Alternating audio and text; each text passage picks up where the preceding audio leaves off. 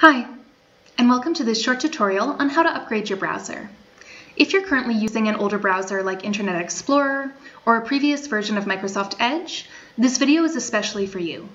We at GamePoint strongly recommend that you upgrade to a newer browser.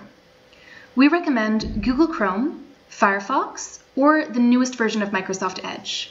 All three of them can be found on this page, which I'll show you in just a minute. Now, as you may already be aware, keeping your browser up to date is important both for security reasons and to make sure that you get the best possible experience out of our games. So, to make things a little easier for you, we're going to help you install a fresh browser or download the newest version of one of the recommended browsers.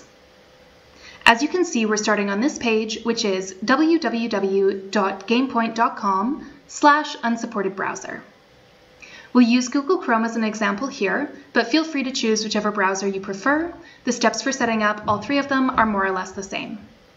So the first step is to click on the browser icon. It opens a new tab, and then you click on the blue Download Chrome button. At this stage, you may see a pop-up asking, do you want to allow this application to make changes to your device? If you see this, click Yes.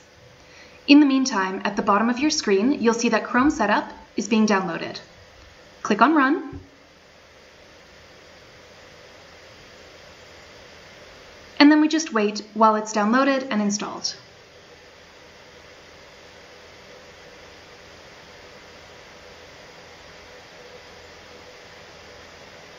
Once the installation is finished, Google Chrome will open, and you can also find it here in your Start menu.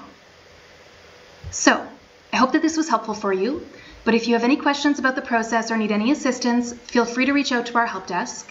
You can find them right here. Thank you.